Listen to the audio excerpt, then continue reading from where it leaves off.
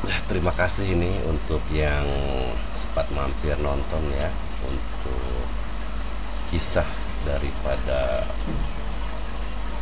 Mangkubumi Wirakusuma Mangkubumi Kesultanan Banjar yang di mana wakil wali sultan ya gitu.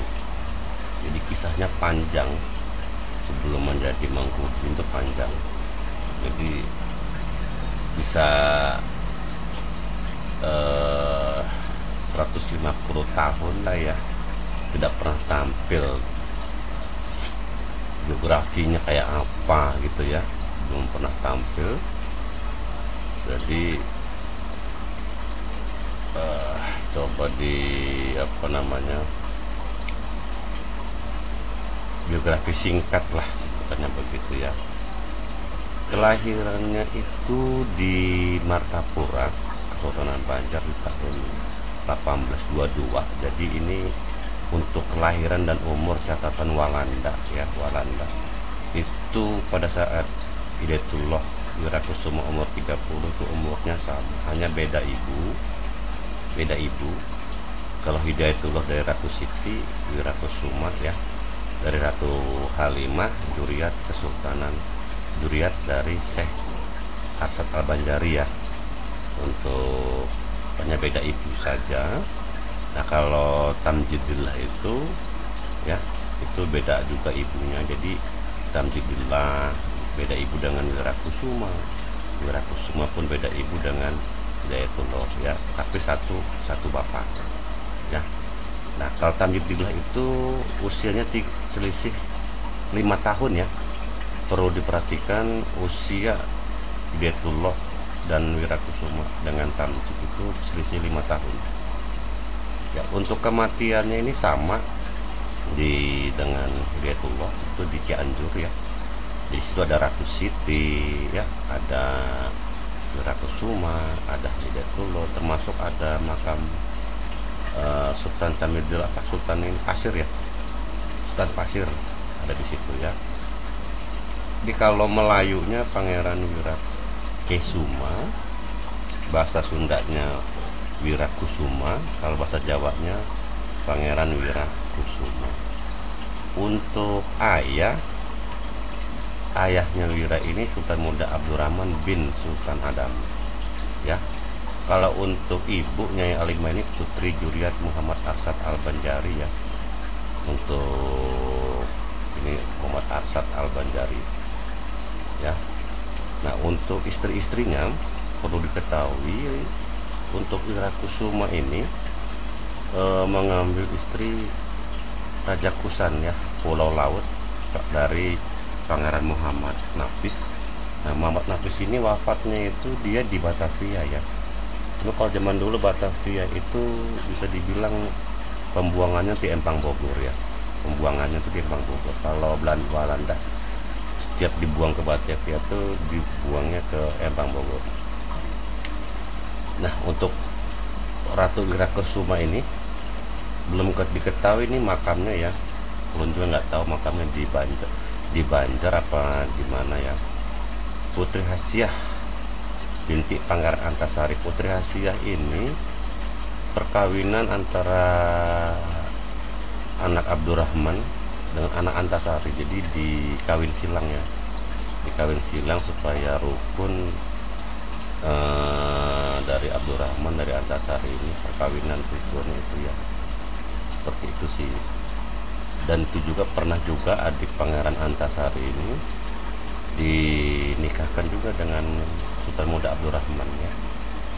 Terus Nyai Ratna ada Nyai Hadijah. Nah untuk Nyai Hadijah ini penelusuran itu ada dua ya penelusurannya Hadijah ini. Hadijah ini binti Adipati Danureja.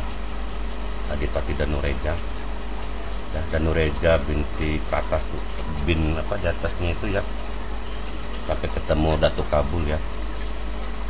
Itu versi satu ya. Untuknya Hadijah versi dua. Entah untuk penelusur penelusuran ya. Eh, apa iya gitu loh dari anak Sultan Sulaiman itu ada Hadi Hadijah juga. Jadi belum ada yang cocok ya untuk yang Hadijah ini. Yang mana nih? Tapi pendekatannya lebih kepada Hadijah yang eh, anak dari Adipati Danureja Hadijah ini. Mendekati seperti itu. Ya Ne Arfiah ini belum tahu, Nya ada belum tahu. Nah untuk anak-anaknya Ratu Syarif Abu Bakar ya.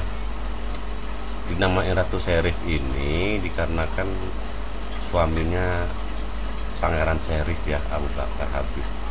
Melahirkan putri Asia. Eh melahirkan putri Asia.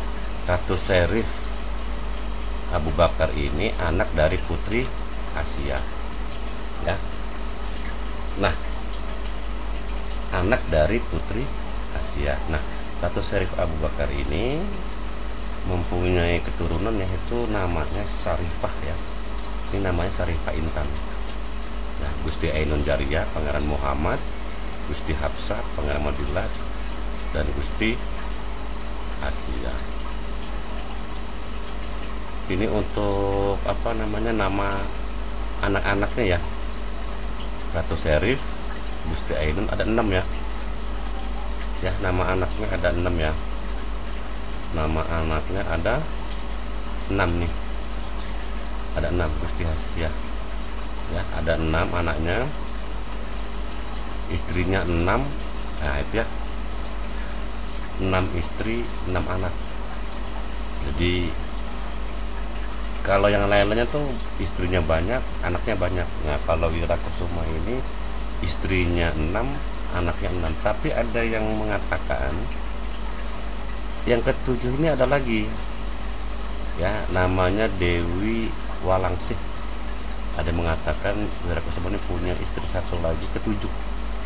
Istri ketujuhnya Dewi Nalangsih. Ada yang mengatakan seperti itu. Tapi tidak tahu ya letak Dewi Nalangsih ini sebagai istri atau istri dari Pangeran Muhammad. Jadi belum tahu untuk makanya tidak masuk di sini Dewi Nawang Dewi Nalangsih itu ya Walangsih itu ya Nalangsih.